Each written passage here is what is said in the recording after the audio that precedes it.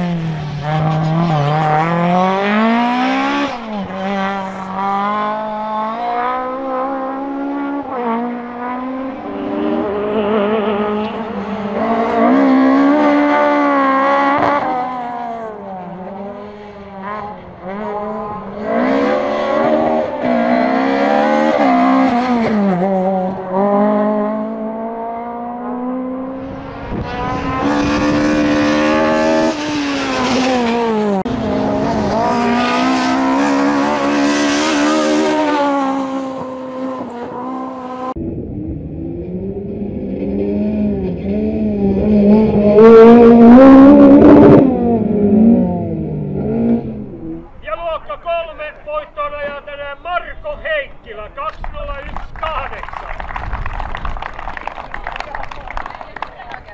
Kuinka voi mennä?